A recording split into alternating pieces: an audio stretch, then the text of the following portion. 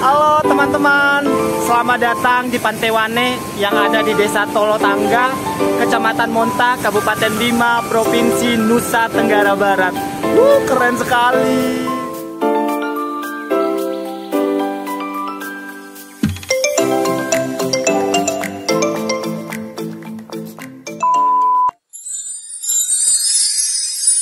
Halo teman-teman, jalan-jalan lagi yuk.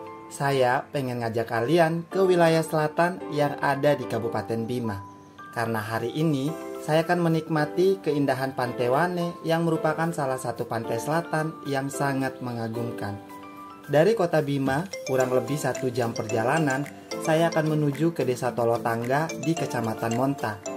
Perjalanan ke desa ini akses jalannya bagus dan teman-teman bisa menggunakan kendaraan roda 2 maupun 4. Dan sepanjang perjalanan kita akan melewati beberapa desa tentunya dengan ciri khas pemandangan sawah dan ladang milik masyarakat sekitar.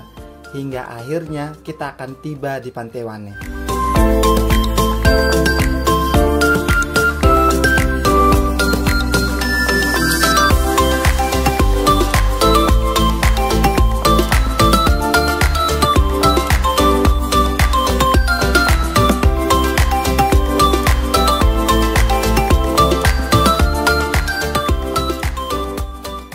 Hamparan pasir putih yang bersih dan halus di pantai ini terbentang luas, dan teman-teman yang suka berjemur bisa memanfaatkannya atau sekedar duduk-duduk menikmati indahnya pantai Wane.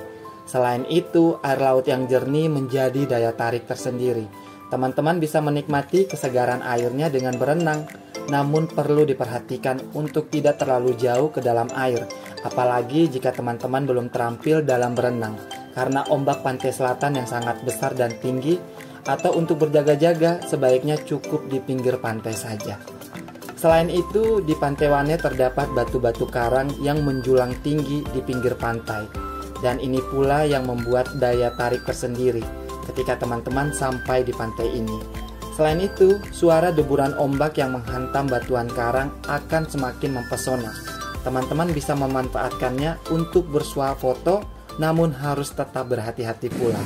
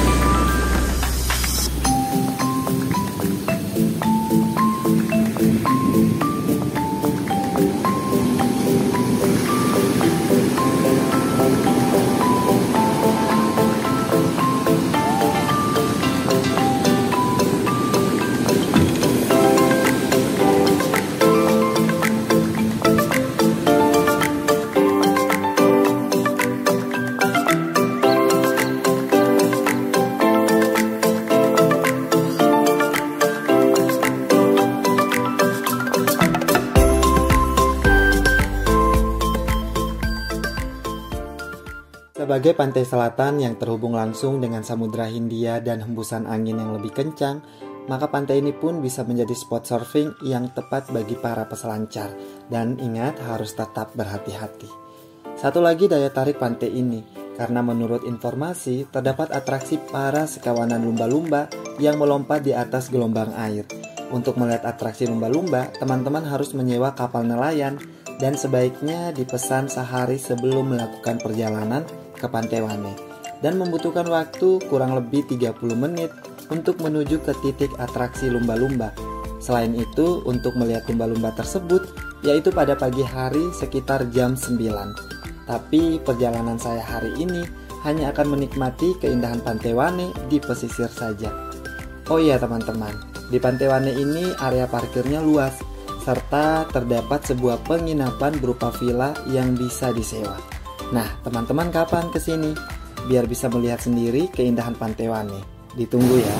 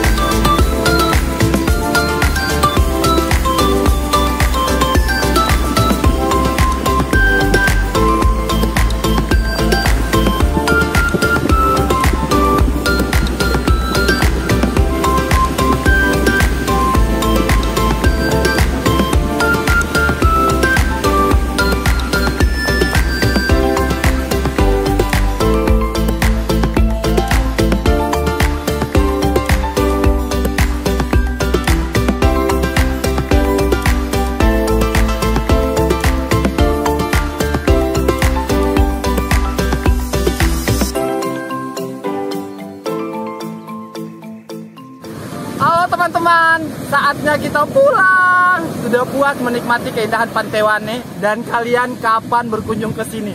Ombaknya luar biasa.